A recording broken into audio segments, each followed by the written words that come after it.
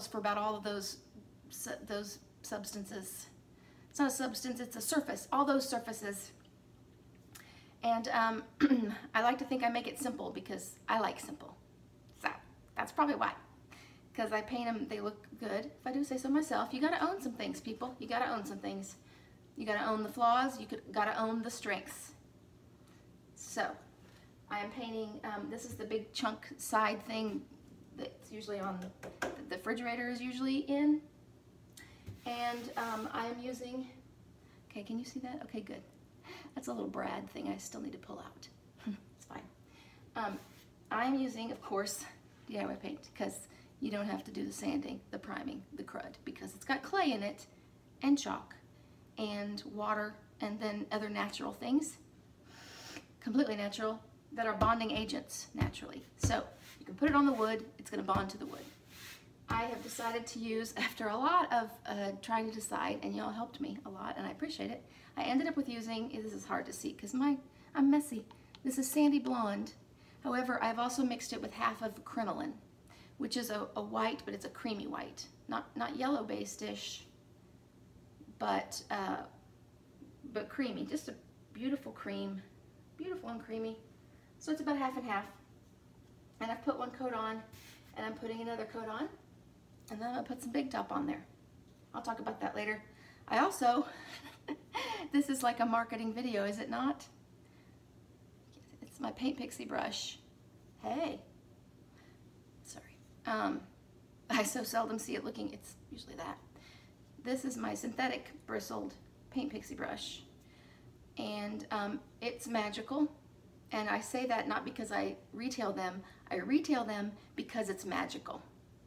Okay? They are magical. This, you can pretty much, oh look, there's water on it. I always keep a wet brush, that's a good tip. You can pretty much brush it even if you don't know what you're doing and it will not show brush strokes. It's, it's crazy, crazy good. It's Just saying. All right, so I'm gonna professionally dip this in here like this.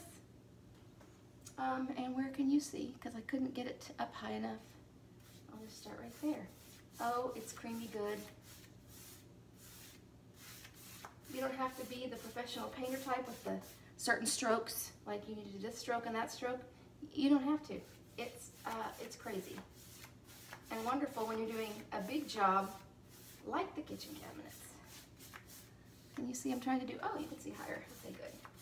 Because the crown molding's up here, but I couldn't get it in the picture. My tripod, y'all, my tripod. Did you just see my underarm? That's not good. I'll have to edit that out. Um, could not get it high enough. Ain't no mountain high enough. Okay, and I need more water. This is kind of how you know with DIY paint. It should glide, really kind of glide. And if it starts sort of sticking that's not okay. I mean, it's fine, it will look good, but it's not much fun to apply that way. So, here's my second coat of slash crinoline and, I mean, crinoline slash sandy blonde. And hopefully this light isn't going to show it accurately either, but I will try to in post-production. I just mean when I edit it uh, in iMovie. I'll try to make sure that the, the color you see is an accurate one so you can get an accurate picture of the that's paint color mixed. Okay, you can't see down there so I'm going to go on across here. Look, it's kind of streaked because it's not totally mixed together there. I love that actually. I mean, I can smooth it out. You can mix this stuff and blend it right on the surface of a piece. It doesn't have to be perfectly mixed before you put it on because it's just that easy to work with. It's user friendly. User friendly. Clap, clap, clap, clap, clap. Yeah, I need more water because it's it's dragging and there's paint on the brush. Woo!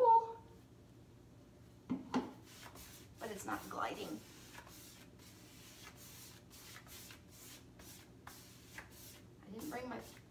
spray bottle up here in the nether regions. Okay. Well, you can't tell how pretty that is, but I'll come back and do more when I finish the second coat and when I put on the big top. Because I've always used Minwax Polycrylic because it doesn't yellow initially. Um, it, it's clear and all the things when I used to do customs before I knew about DIY paint. And uh, in fact, I argued with uh, Joni of, um, uh, what is it, T not Tidewater, Vintage, something vintage. I'll have to come back and put this in because she's an incredible artist and painter. Um, and she said, when I was talking about Minwax polyacrylic a long time ago, a couple years, and um, I said it doesn't yellow, and she said it does yellow, and I was like, sorry, baby girl, it doesn't, it doesn't yellow. I use it on white cabinets all the time. she was like, it does yellow. no, here's what it is. It does yellow over time.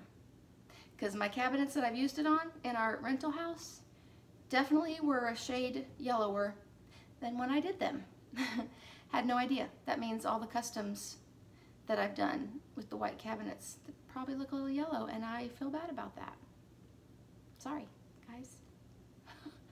Hopefully not, and I'm sure it's gradual, but it does yellow. I don't want more yellow on here. I want it to this tone and not even yellower, a yellower tone.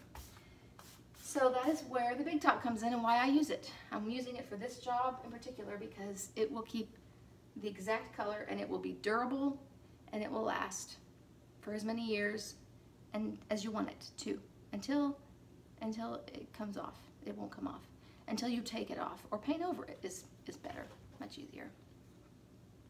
Okay, I'll be back. Did y'all see Elaine uh, on Seinfeld ever do that? I can't do it like her, but she'd go.